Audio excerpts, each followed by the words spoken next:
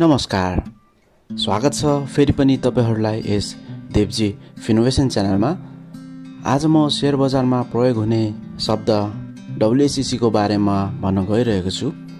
प्राय नयाँ लगानीकर्ताहरू यसको बारेमा थाहा हुँदैन कसरी गर्ने त डब्लुएसिसी यसको मतलब के हो? आज यही विषयमा म चर्चा गर्नेछु। कृपया भिडियो नछुटाइकन अन्तिमसम्म हेर्नुहोला।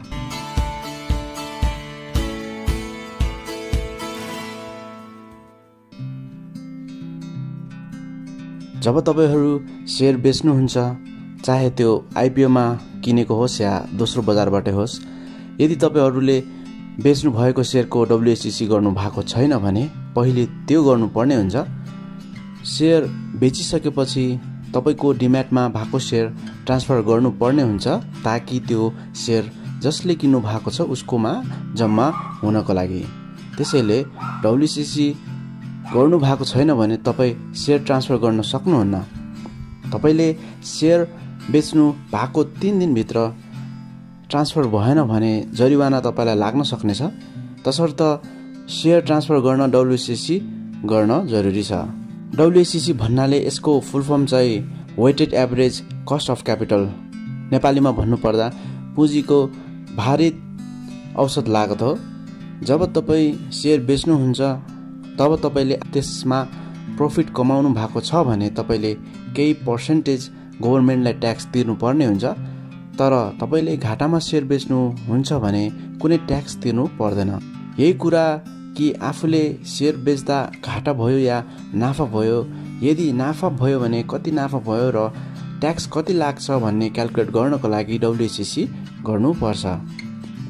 कुनै कम्पनीको सेयर तपाईँले फरक मितिमा फरक मूल्य हालेर किनेको हुनसक्छ? एउटै कम्पनी भए पनि तपाईँले फरक समयमा फरक मूल्यमा किन्नु भएको छ र तपाईँको औसत लागत एक्चुअल कस्ट त्यस कम्पनीको टोटल सेयर किन्दा कति पर्यो त भन्ने थाहा पाउन डब्लुसिसी गर्नुपर्छ। अझै प्रष्ट पार्नको लागि एउटा उदाहरण दिन चाहे। मानौ ए कम्पनीको तपाईँले सय किता सेयर रुपियाँ पाँच सयमा किन्नुभयो पर सेयर एउटा सेयरको। फेरि एक महिनापछि तपाईँले सोही कम्पनीको सेयर थप्न मन लाग्यो र किन्नुभयो अरू पचास किता सेयर तर यो पालि चाहिँ बजार भाउ रुपियाँ चार सय पचासमा पाउनुभयो। अब तपाईँसँग टोटल ए कम्पनीको एक सय पचास किता सेयर हुने भयो। यस कम्पनीमा तपाईँले एउटा किता सेयरको फरक फरक प्राइस लगाउनु भएको छ त्यसैले तपाईँको औसत लागत यस कम्पनीमा कति भयो त भन्ने गरिने क्यालकुलेसनलाई डब्लुसिसी भन्छौँ। यो त्यति बेला चाहिन्छ जब तपाईँ सेयर बेच्नुहुन्छ। तपाईँले अब दुई महिनापछि पैसाको खाँचो पर्यो र ए कम्पनीको चालिस किता सेयर रुपियाँ पाँच सय पचासमा बेच्नुभयो। अब यहाँ के भयो भने तपाईँलाई प्रफिट भयो। तपाईँले किन्नु भएको रेटभन्दा बढी रेटमै बेच्नु भएको छ। अब गभर्मेन्टले तपाईँको प्रफिटमा क्यापिटल गेन ट्याक्स काट्छ जुन चाहिँ पाँच पर्सेन्ट छ। हो अब त्यो पाँच पर्सेन्ट ट्याक्स कुन रेटमा लाउने त? तपाईँले एकचोटि पाँच सय रुपियाँ पर सेयरमा लिनु भएको छ र अर्को चार सय पचासमा अब त्यो चालिस किता जुन तपाईँले बेच्नु भएको छ कुनबाट बेचेको भनेर मान्ने त? सय किता किन्दा मान्ने कि पचास किताबाट बेचेको मान्ने त। त्यसैले यसको लागि यस ए कम्पनीको सेयर किन्दाको एभरेज कस्ट निकाल्नु पर्दछ जुन डब्लुएसिसीद्वारा हामीले गरिन्छ। सिम्पल छ फर्मुला। तपाईँले ए कम्पनीको सेयर किन्दा टोटल लागेको कस्टलाई टोटल क्वान्टिटीले डिभाइड गर्नुहोस्। मानौ ए कम्पनीको एभरेज कस्ट हुनेछ रुपियाँ चार सय तिरासी पोइन्ट तिन तिन।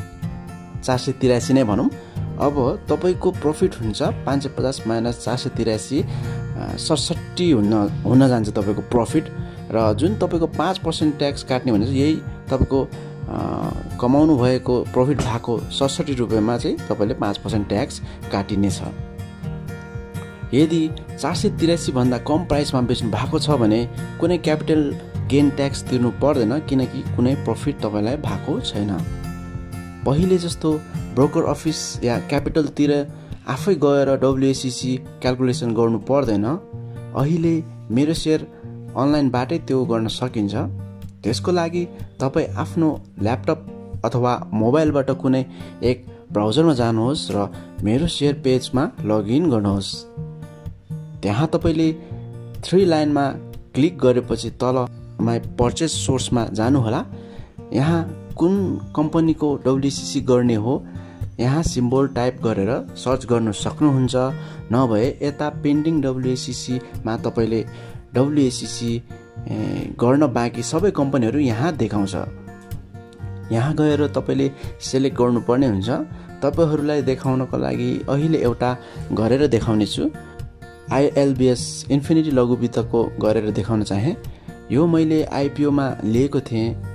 अनि त्यसपछि यसले बोनस सेयर दिएको थियो जुन यो एक किता चाहिँ बोनस सेयर हो। आइपिओ भएर यहाँ डब्लुसिसी हन्ड्रेड छ। राइट सेयर आइपिओ र बोनसको चाहिँ यहाँ जहिले हन्ड्रेड नै देखाउँछ हन्ड्रेड नै हुन्छ। र यो रेड बक्समा के लेखेको छ तपाईँहरू एक्चुली राम्रोसँग पढ्नुहोस्। यसमा के भनेको छ भने यदि तपाईँले यहाँ किनेको प्राइसमा केही फरक पाउनुभयो भने तपाईँले यहाँ गएर यसमा सच्याउन सक्नुहुनेछ र यहाँ रिमार्क्समा चाहिँ त्यसको रिजन राख्नुपर्ने हुन्छ। अनि के पनि भनेको छ भने एकचोटि तपाईँले कन्फर्म गर्नुभयो भने पछि केही चेन्ज गर्न पाउनुहुने छैन तसर्थ राम्रोसँग केयरफुल्ली भएर गर्नुहोस् भनेको छ। अब यहाँ देखिएको सबै रेट ठिक छ भने यहाँ टिक लाउनु र प्रोसिड गरिदिनुहोस्। त्यसपछि यहाँ आई हेयर बाई लेखेको बक्समा क्लिक गर्नुहोस्। एकचोटि पढ्नु पनि होला यो। अब अपडेट गर्नुहोस्। यो आइपिओको सेयर भयो। सेकेन्ड्रीमा किनेको पनि देखाउने छु यहाँ हेर्नुहोस् मैले एफएमडिबिएलको सेयर सेकेन्डरी मार्केटबाट किनेको थिएँ। चार सय रुपियाँ पर सेयरमा किनेको थिएँ। तर यहाँ चार सय दुई पोइन्ट फोर फाइभ छ। यो हो वेटेड एभरेज कस्ट यसमा ब्रोकर कमिसन अरू चार्जेसहरू पनि सबै इन्क्लुड भएर यसको डब्लुएसिसी यति हुन आएको हो। साथीहरू आशा गर्दछु डब्लुएसिसीको बारेमा यस भिडियोले थोरै भए नि केही जानकारी दियो होला। त्यसो हो भने लाइक गरिदिनुहोस् यस भिडियोलाई कमेन्ट गर्नुहोस्।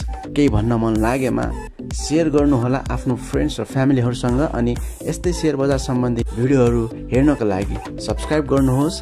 तपाईँको एक सब्सक्राइबले मलाई यस्तै अरू भिडियोहरू लिएर आउन हौसला दिनेछ र मेरो नयाँ भिडियोहरू नछुटाउनुका लागि सँगैको नोटिफिकेसन बेल पनि बजाइदिनुहोस्।